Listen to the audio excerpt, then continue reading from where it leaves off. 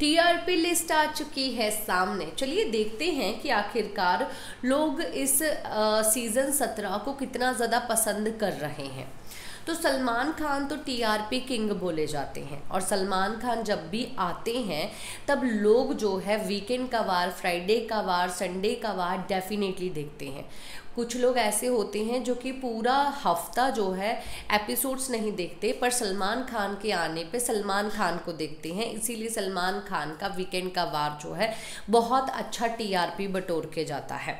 अब हम लोग प्रीमियर नाइट की बात करें, जहाँ पर संडे स्टार्ट हुआ था सत्रह सीज़न 2.2 टीआरपी आई थी उस वक्त. वीकडेज की बात करें तो 1.4 और ओवरऑल अगर बात करें तो 1.8 एवरेज रहा, ज़्यादा हाई भी नहीं, ज़्यादा लो भी नहीं, बस बीच में जो है ये ढलक रहा है, पलट रहा है और रह रहा है ये शो पर ये शो का बीच में रहने का और एवरेज टीआरपी आने का मैं सिर्फ़ और सिर्फ़ जिम्मेदार मानूँगी बिग बॉस को बिग बॉस के मेकर्स को, कि उन्होंने जो है बहुत ज़्यादा उंगलियाँ की। स्टार्टिंग में जो है बहुत अच्छा एक अपने आप ही बिग बॉस के घर में जो है लोगों के बीच में दुश्मनी, प्यार, मोहब्बत जेलसी सब चीज़ें हो रही थी।